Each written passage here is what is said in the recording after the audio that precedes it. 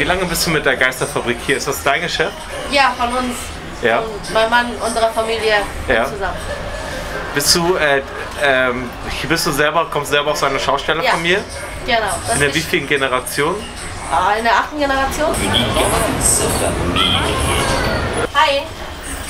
Gerne. 12 Euro bitte. Bitte. Viel Spaß. Was habt ihr denn vorher für ein Fahrgeschäft gehabt?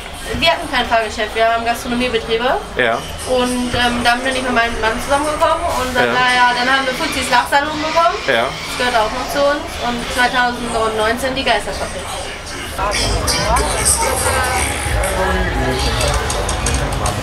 Wie lange seid ihr mit der Geisterfabrik jetzt hier schon auf dem Dom? Wir haben zehn Tage vorher aufgebaut Ja. und seit daher sind wir da. Seit Oder meinst letzten, du hier auf der, genau, auf der hier ganzen? Jahre? Ja, seit 2019. Ja.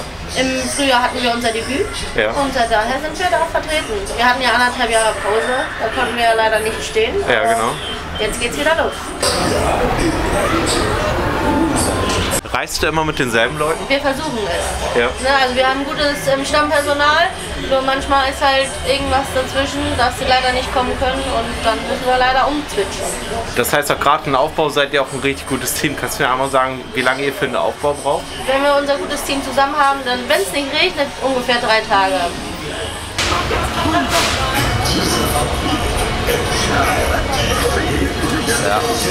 Und meine größte Freude, unsere ganze große Ja. Freude ist halt, andere Personen glücklich zu machen. Ne? Mit dem, was wir tun. Wir haben uns viel Mühe gegeben. Für uns ist es halt sehr wichtig, dass wir auch die Leute begeistern können. Denn wir sind von unserer Sache sehr begeistert. Das ist krass, weil da stehen nämlich fast nämlich alle, sagen das nämlich und ich stehe da auch richtig hinter.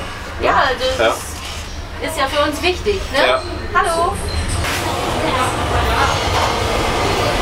Boah, die werden richtig hochgefahren, da siehst du?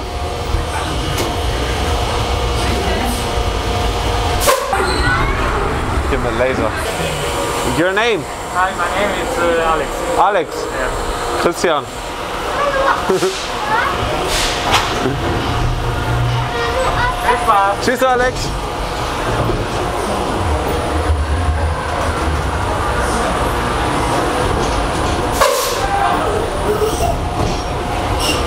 Ja. Das ist richtiger Fahrstuhl hier. Wow.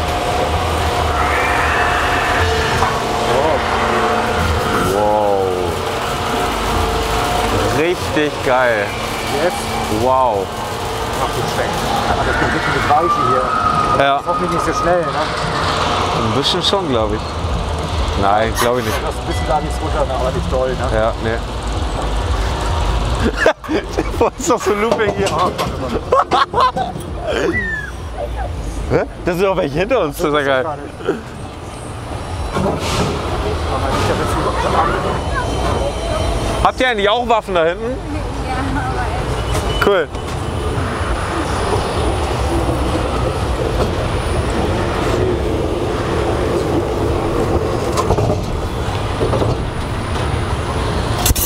Wow.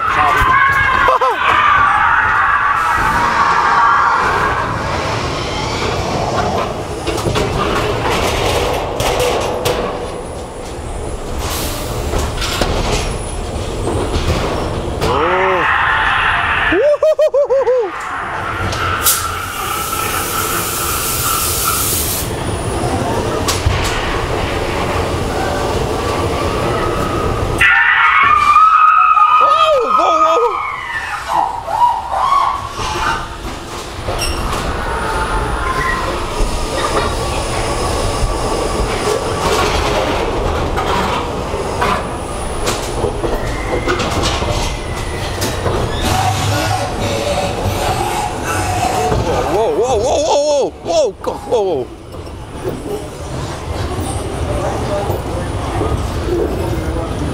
Guck mal, ich habe hier schon ein paar Treffer gelandet. Ja.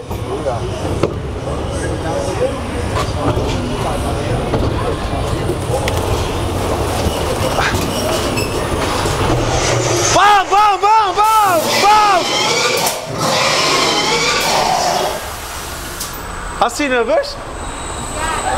Sehr gut. Da vorne, knallt ihn ab!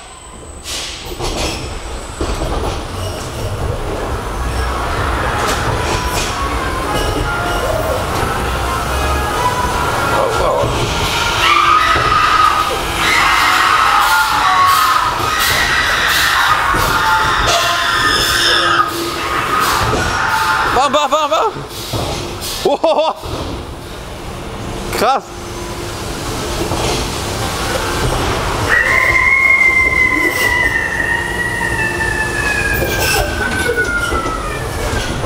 Nein, Superschützen. Wie es aussieht, habt ihr es bis hierhin überlebt. Aber jetzt müsst ihr an mir vorbei. Das werdet ihr nicht unbeschadet überstehen. Mach dich bereit. Jetzt drücke ich euch ordentlich durch. Endgegner, ne? Ja.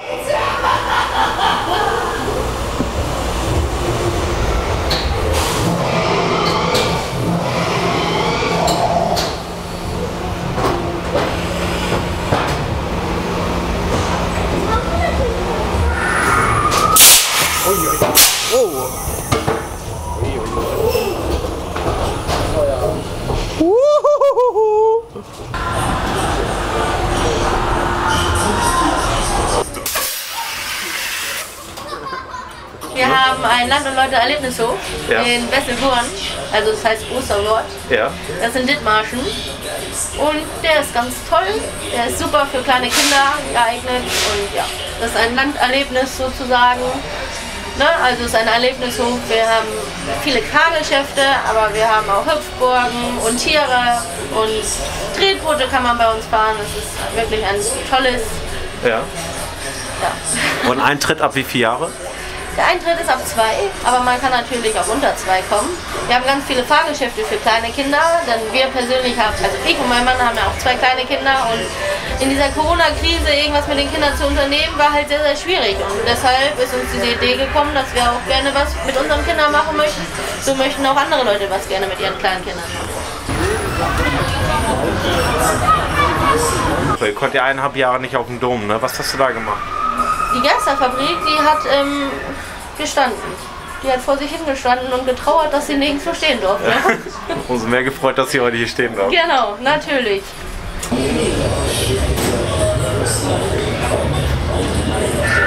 Wir wollen gerne raus und wir möchten gerne unserem Beruf weiter nachgehen und Genau. das ist uns halt wichtig. Ihr Ne? habt ja auch eine Menge Spaß an der Sache. Genau.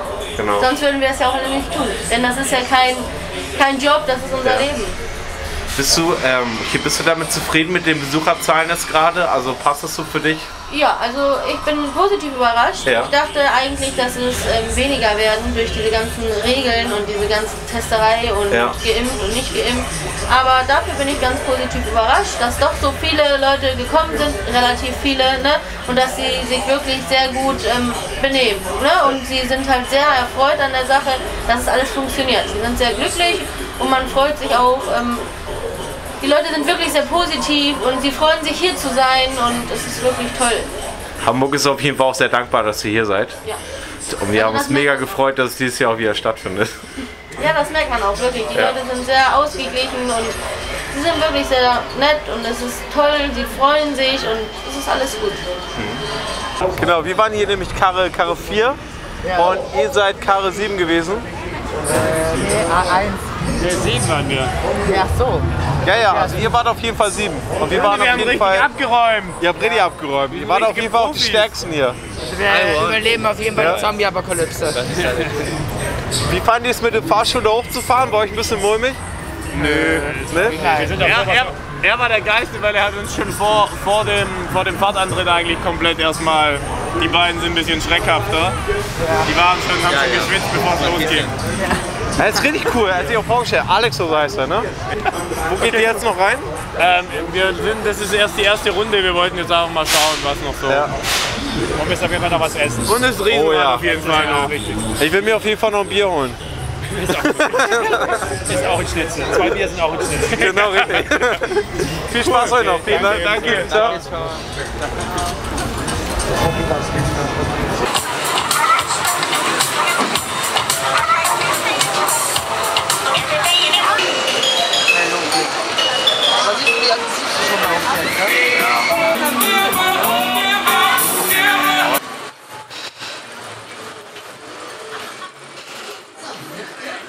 Gebaut wurde das Teil 2014 und äh, ich glaube 2016 waren wir das erste Mal auf dem Dom. Ja.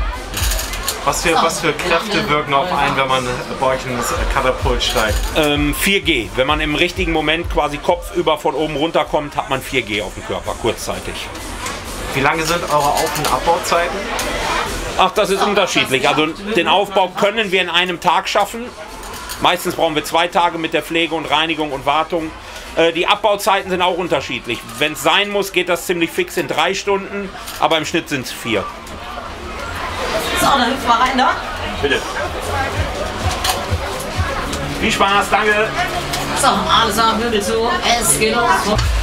So, alles am. Dreh Wasser auf. Komm an, schnur die Kiste. Wie viele LKW sind nötig, um das Katapult zu transportieren? Zwei. Wir fahren durch ganz Deutschland. Also wir fahren jetzt als nächstes nach Hamm und wir kamen von Hannover. Ja. Bitte. Am. 20 Euro bitte. Viel Spaß.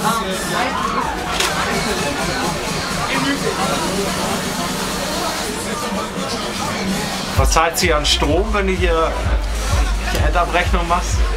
Oh, das weiß ich nicht ganz. Ich, das weiß ich nicht ganz genau. Das, aber ich schätze zwischen 2.000 und 3.000 Euro Minimum plus den Verbrauch, den wir noch an dem Wohnwagen haben. Also ich denke irgendwo so 4.000 Euro werden wir lang.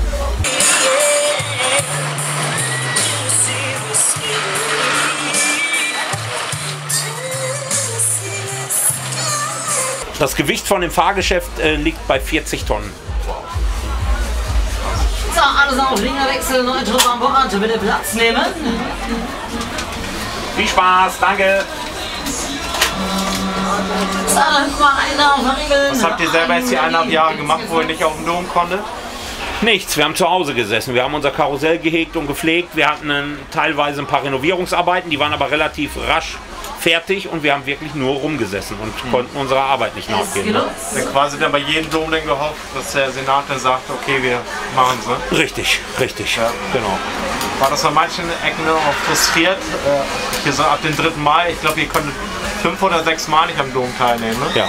ja. Ja, total, total frustrierend. Also das zieht einem jedes Mal wieder neu den, den Boden oder die Füße weg, ne, wenn sowas abgesagt wird. Ne. Ja, mit dem Ergebnis sind wir eigentlich äh, für den Umstand zufrieden. Auf jeden Fall. Also ähm, ich hätte eigentlich mit weniger gerechnet, Ja. wenn ich ganz ehrlich bin. Also war schon okay. Okay. Viel Spaß.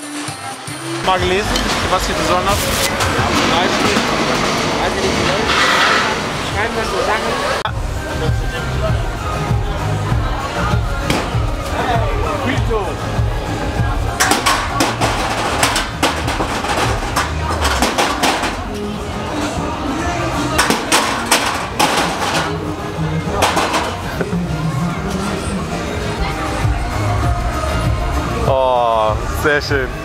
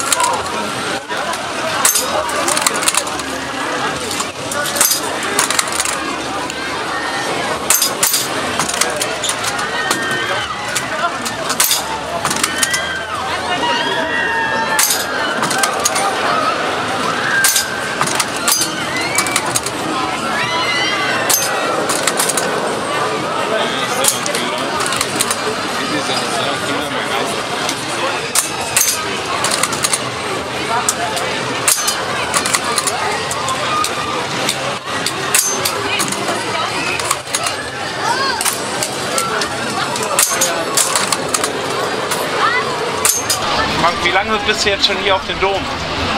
Ich selber tatsächlich seit meiner Geburt. Also Ja. schon immer.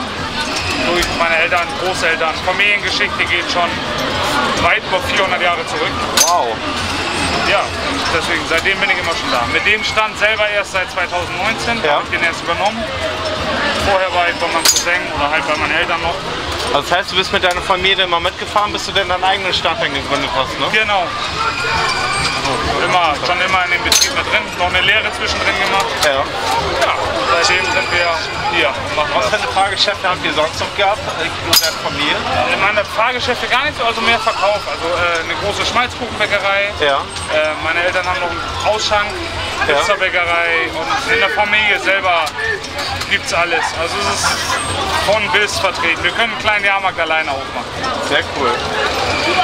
Zu den, zu den Waffen, ähm, ich habe schon mitbekommen, ihr schießt mit äh, Automatik und mit äh, Repetier. ähm, hä? Repetieren. halt revidiert. genau.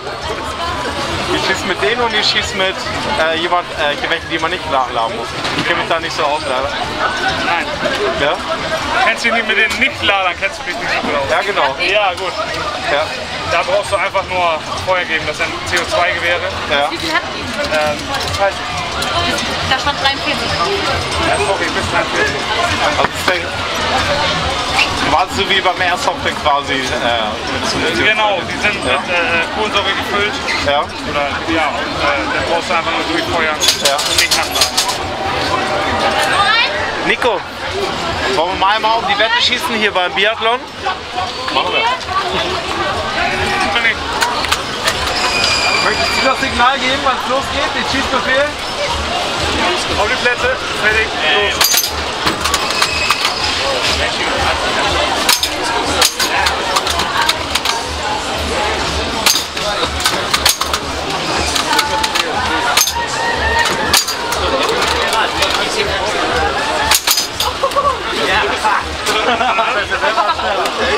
Noch schneller.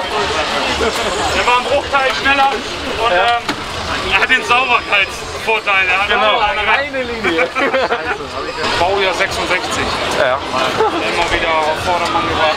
Und da sind die Gewehre dann gerade erst reingekommen wahrscheinlich. Ja, die haben zwischendurch gewechselt. Es gibt ja. Ja. noch andere, aber die kamen dann halt irgendwann mal neu. Cool.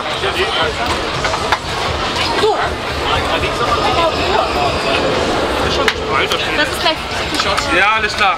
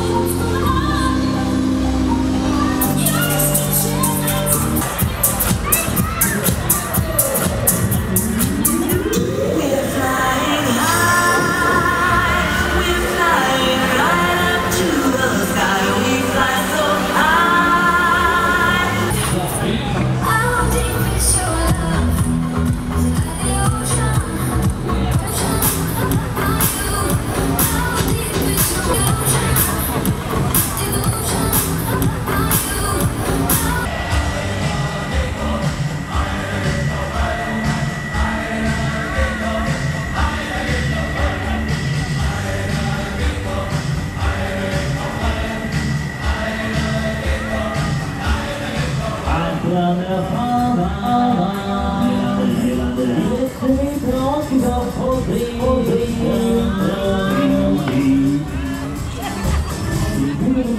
hope we might have done well, hopefully.